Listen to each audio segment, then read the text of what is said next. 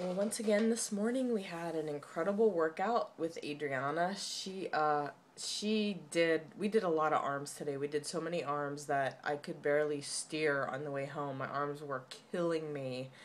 So it was good. And the past few days I've been going to some different gyms to try to see where I want to go when this all is over, which is we just have a few weeks and we're going to be done. So I'm going to try to transition into a place that I think will best fit me and what my goals are.